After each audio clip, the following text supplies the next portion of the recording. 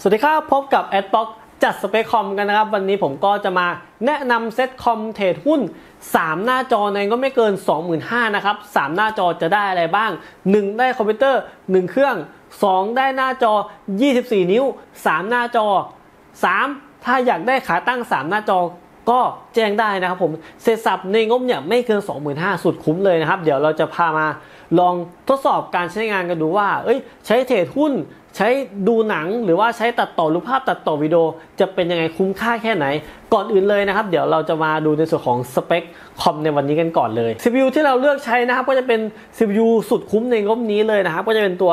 AMD Ryzen 5 นะครับ ตัวนี้มี 6 คอ 12 เทรดถือว่าเพียงพอต่อการเอาไปใช้งานทั้งดูหุ้นตัดต่อวิดีโอตัดต่อรูปภาพนะครับ ถ้าเทียบกับฝั่ง Intel ก็จะเป็น Core i5 นะครับ แต่ถ้าใครอยากได้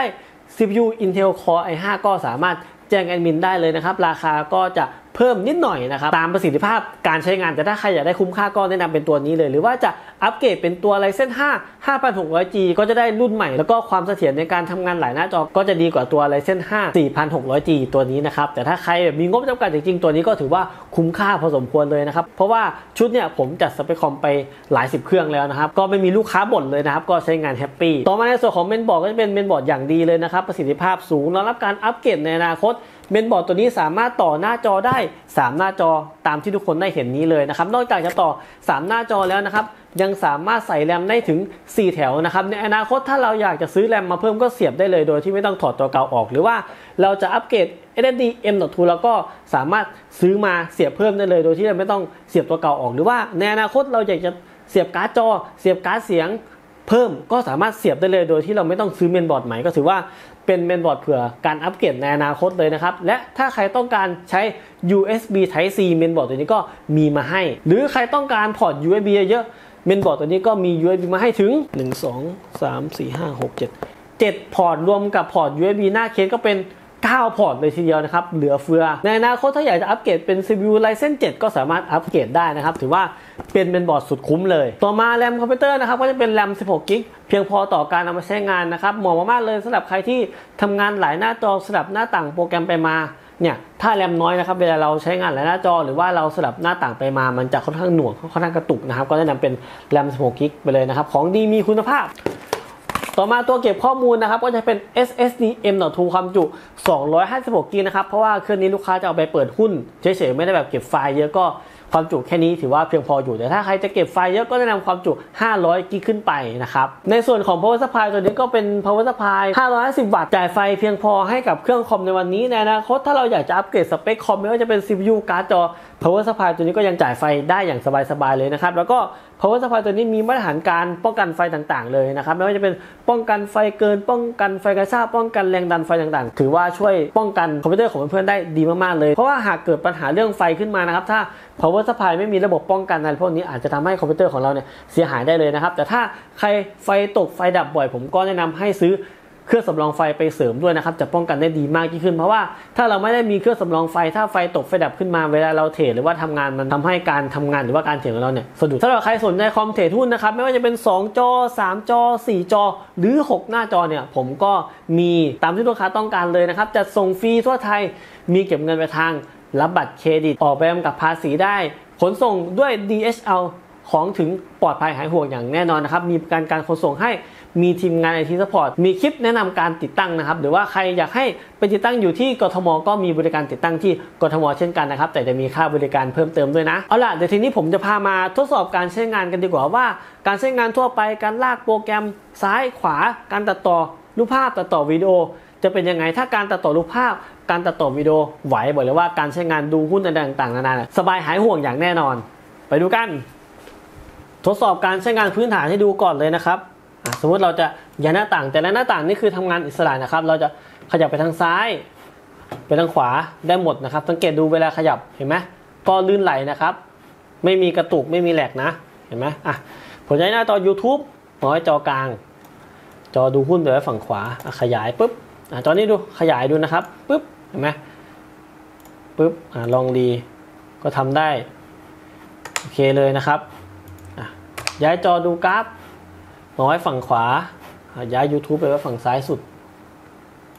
ขยายจอใหญ่ปุ๊บแต่ละหน้าจอทำงานอิสระนะครับ เห็นไหมหายห่วงขยายปุ๊บเห็นไหมครับขยับกราฟซูมเข้าไปเนี่ยเห็นไหมครับลื่นไหลครับอะจอขวา กดเข้าไปซูม ขยับดูกราฟ เห็นไหมครับทำได้ดี อันนี้พูดถึงการทำงานทั่วไปดูหุ้นดู YouTube ฟังเพลงอันนี้คือชิวๆนะครับ ทีนี้เรามาลองเปิด Word ขึ้นมาอะลองพิมพ์ดูนะครับ ก็เป็น Line ID ร้านนะครับอะ copy copy paste ใช่ไหมทำได้อย่างลื่นไหลครับอะซูมเข้าไปเนี่ยถ้าในเรื่องของการทำงานทั่วไปทำงานออฟฟิศสบายหายห่วงนะอะทีนี้เดี๋ยวผมจะลองมาตัดต่อรูปภาพให้ดู ยุบโปรแกรมไว้ก่อน เปิดโปรแกรมตัดต่อขึ้นมานะครับ การเรียกใช้งานโปรแกรมก็ทำได้อย่างรวดเร็วทีนี้เปิดไฟล์ขึ้นมานะครับ แม้ลองขยับรูปภาพดูครับ เห็นไหมลื่นไหลนะ เนี่ย ถ้าทำงานแบบตัดต่อรูปภาพทั่วไป สามารถทำได้อย่างดีเลยทีเดียว เห็นไหมครับ เนี่ย ขยับรูปภาพอลองปรับสีสว่างขึ้นปุ๊บอะตัวล่างอะสว่างครับ ลองแบบสีเข้มเห็นไหมครับ ก็ทำได้อย่างลื่นไหลนะครับ เห็นไหมไม่หน่วงไม่กระตุกนะรับการ์ดต่างๆ ใส่ตัวหนังสือกันดูบ้างนะครับ line ad at side ad po k spec ad box spec com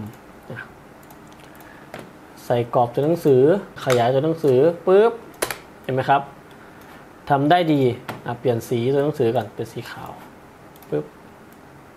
เห็นไหมเนี่ยตัดต่อรูปภาพทำเงี้ยทำได้สบายๆนะครับต่อมาเดี๋ยวเราไปดูในส่วนของ พาร์ทงานตัดต่อวิดีโอกันบ้างครับอะซ่อนไว้นะ ดูครับเห็นไหมสลับหน้าจอเนี่ยเห็นปะเนี่ยสามจอพร้อมกันดูครับทุกคนเห็นไหมอืมเป็นไงแรงไหมครับนะครับ งานตัดต่อวิดีโอเห็นไหม